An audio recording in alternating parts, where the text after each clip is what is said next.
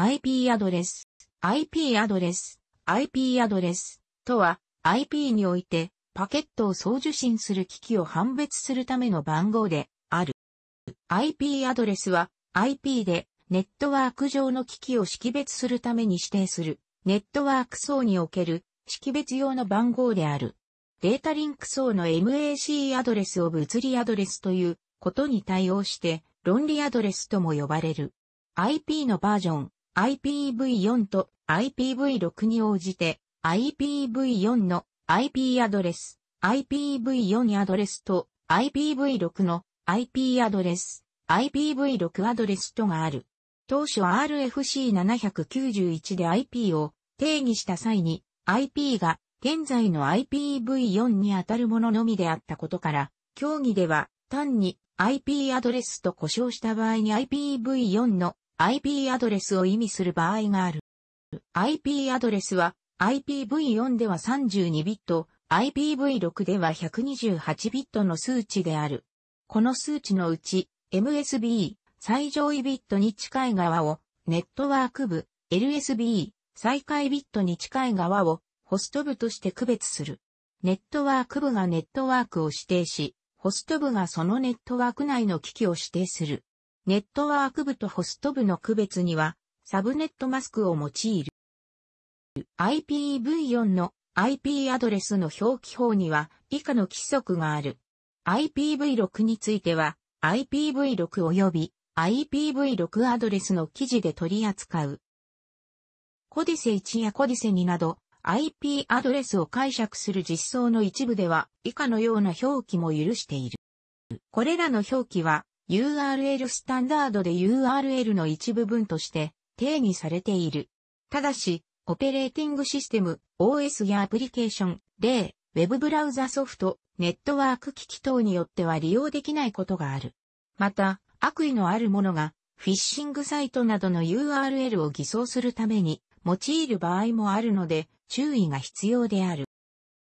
IP アドレスは次の5つのアドレスクラスに分かれている。クラス A からクラス C までは、ネットワーク部とホスト部の境界が8ビット単位で区分けされている。クラス A はネットワーク部が短く8ビット、ホスト部が長い24ビット。すなわち、多くの機器を保有する大組織や多くの顧客を有する大規模なインターネットサービスプロバイダ、ISP に割り当てるのに適している。クラス C は、その逆である。これは、日本の電話番号において東京などの人口が多い、地域には03のような短い市街局番が割り当てられ、人口の少ない地域には長い市街局番が割り当てられているのとじである。クラス A が約1、677万台、クラス B が65,534台、クラス C が254台のホストを接続できる。しかし、アドレスクラスを用いた IP アドレス割り当てには問題が生じた。ほとんどのネットワーク、例えばインターネットサービスプロバイダでは、クラス A では大きすぎ、クラス C では小さすぎたため割り当ての要求がクラス B に集中したのである。クラス B の割り当てを受けたネットワークの中には65,534台のホスト、インターネットサービスプロバイダであれば、接ユーザー数を同時にすべて接続することが稀である。ネットワークも存在し、IP アドレスが無駄に消費されることになった。そこで現在では、アドレスクラスを使わず、ネットワーク部とホスト部の境界を8ビット単位に固定せずに細分化する可変調サブネットマスクやシドア、クラスラスインター、ドメインルーティングの使用が一般化している。IP アドレスの割り当て範囲を示すために、IP アドレスの末尾に、スラッシュとともにネットワークアドレス帳を付記して表すことも多い。IPv4 の場合、MSB 側からのビット数でネットワークアドレス帳を表す。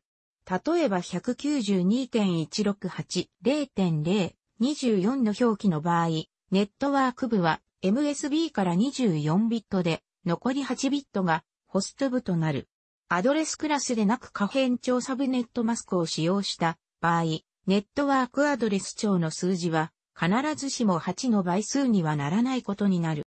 シドアはサイダーと読むを用いることで192.168、1.0から192.168、1.255という複数の IP アドレスを範囲指定させることができる。活用方法としては、Wikipedia で行われているといった特定の範囲内の IP アドレスをつ利用者の編集ブロックなどがある。例えば69.208、0.0を含む IP アドレス群の場合、シドアと開始アドレス及び終了アドレスの関係は以下のようになる。通信可能な範囲のことをスコープという。IP アドレスはそれぞれにスコープが決められている。一覧。口実するプライベート IP アドレス、リンクローカルアドレス、特殊用途の IP アドレスなどを除いた IP アドレスはグローバル IP アドレスと呼び、インターネットの接続用に利用され、重複が発生しないように管理される。そのため、ICANN を頂点とした階層的な異常関係によって世界的な管理が行われている。通常、パソコンやルーターなどをインターネットに接続すると ISP に割り振られているグローバル IP アドレスの中の一つがパソコンなどに割り当てられる。プライベート IP アドレス、ローカル IP アドレスは、プライベートネットワーク、外部から利用できない社内 LAN などのアドレスとして使うことができる。異なるプライベートネットワークを相互接続して、ルーティングすることも可能である。プライベート IP アドレスとして、次のアドレス空間が予約されている。ネットワークの規模に応じて使い分ける必要がある。Windows などでは IP アドレスが設定されておらず、DHCP サーバも見つからない場合には、自動的に169.254で始まるクラス B の IP アドレスが振られる APIPA という機能。これはリンクローカルアドレスと呼ばれ単一の LAN 内での通信に使うことができるが、ルーティングができないなど、プライベートアドレスとは異なるものである。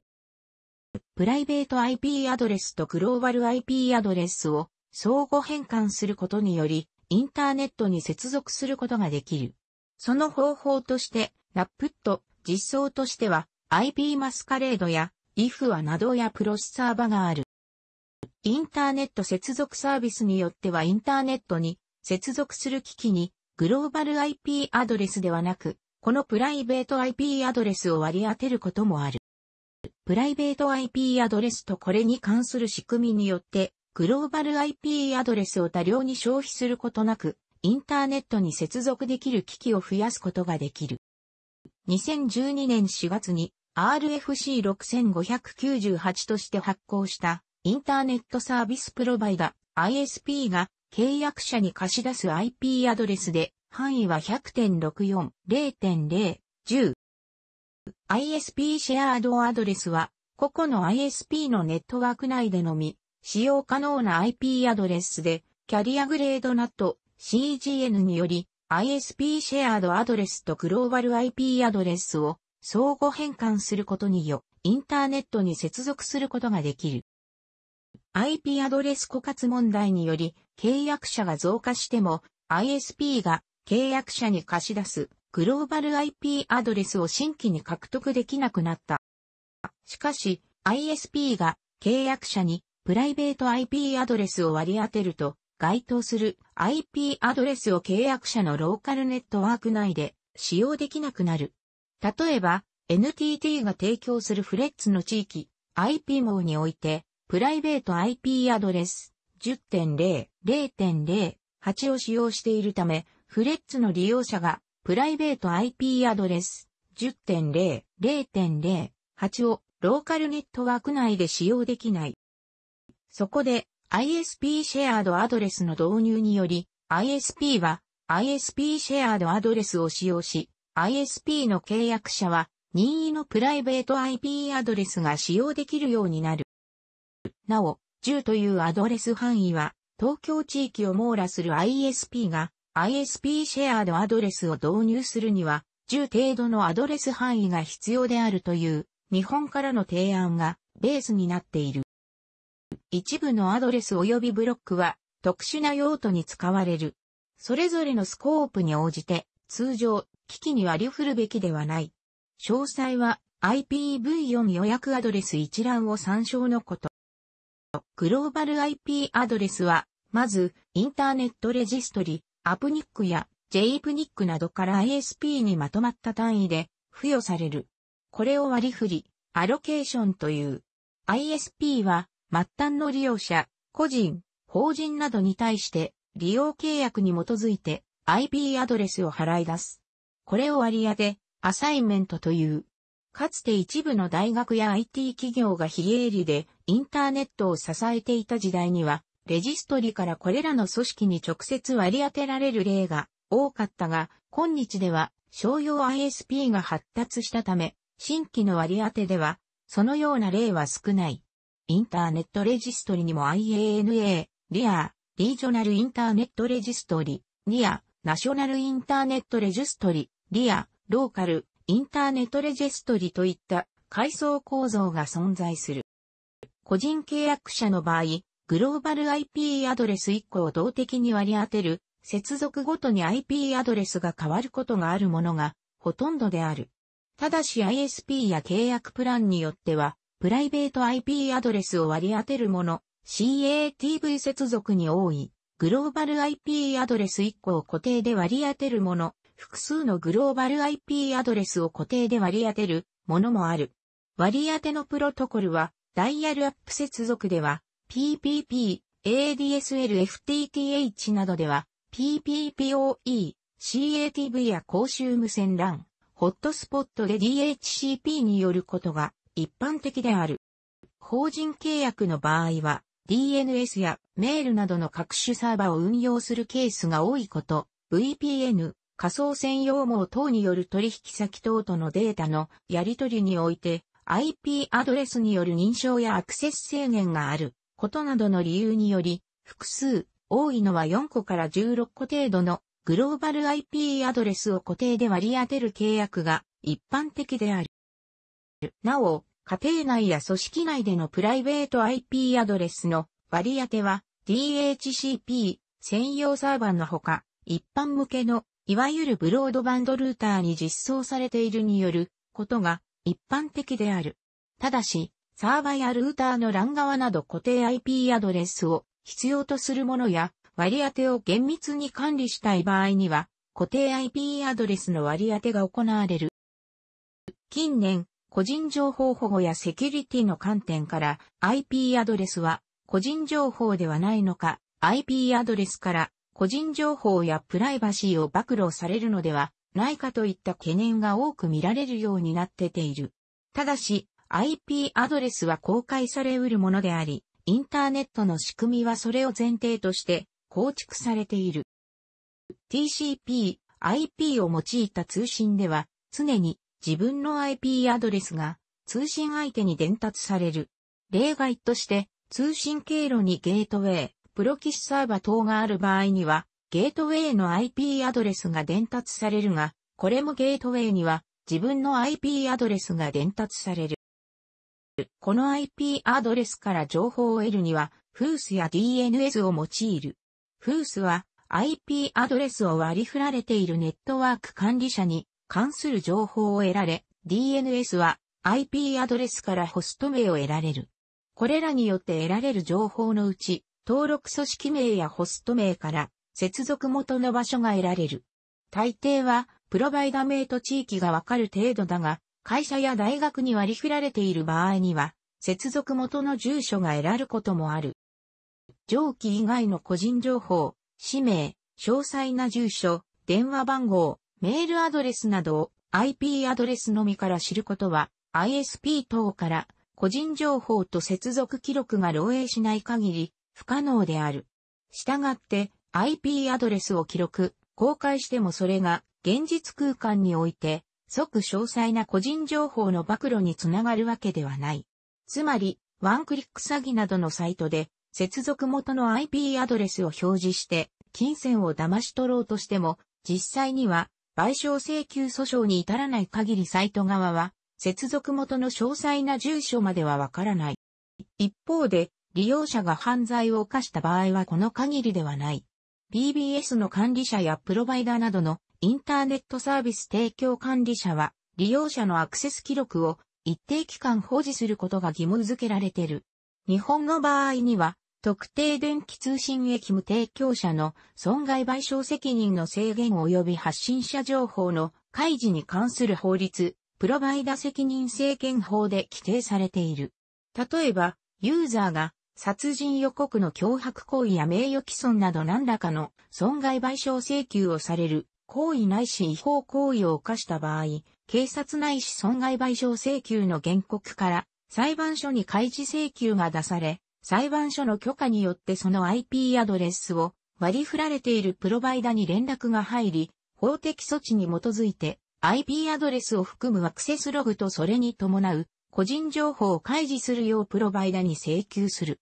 したがって、個人間では IP アドレスで個人情報を取り出すことは不可能だが、警察への告訴や民事訴訟などの手続きなどを経ると、当該 IP アドレスを使用した個人を割り出すことができる。また IP アドレスを使用したものの情報は、プロバイダによって調べられるので、仮にある IP アドレスを使用したものが何らかの不正を行ったことをその IP アドレスから判明する、プロバイダに通報するトップバイダは、基本的には内規に基づいて、利用停止などの措置を取ることがある。なお、刑事告訴や民事訴訟に至らないまでも、インターネット上で BBS や Wiki などのサービスを提供している団体が、迷惑行為や違法行為を行っている者に対して、IP アドレスで行為を制限することがある。上記のように特定操作権のないユーザーが現実世界での個人情報を特定することはほぼ不可能である。ただし、インターネット世界においては IP アドレスは個人ユーザーのパソコン、または個人契約サーバーを特定するものであり、掲示板やウィキペディアの投稿記録、ブログや各ホームページサーバー等で配布しているアクセス解析を採用しているサイトには、来訪者の IP アドレスが残される。そのため、来訪日時を調べることが可能である。また、掲示板やチャットなどではあらかじめ特定の IP アドレスを指定することで対象となる IP アドレスの閲覧や投稿をブロックすることが可能である。なお、動的 IP アドレスの場合、無関係なユーザーにも影響がある。また、固定 IP アドレスにおいては、同一欄内で複数ユーザーが利用している場合には、同一欄内のすべてのユーザーが対象となってしまう。現在、特殊な用途のものを除く、すべての IPv4 のグローバルアドレスを誰かに割り当てた状態になりつつある。すなわち IPv4 のグローバルアドレスに空きがなく、インターネット上に公開する IP 機器の増設が不可能になるという問題が発生している。不動産に例えると、これまでは新規分譲で土地が提供されて建物を建築できていたが、分譲する土地がなくなったために既存の建物が建っている土地を地上げして再開発しない限り新たな建物を建てられなくなった状態である。2017年2月15日ラックニックの IPv4 アドレス在庫が11ブロック以下となり、アフラニックを除く4つのリアで IPv4 アドレス在庫枯渇の最終段階になった。この枯渇問題の対策として IPv6 の普及が進められている。楽しくご覧になりましたら、購読と良いです。クリックしてください。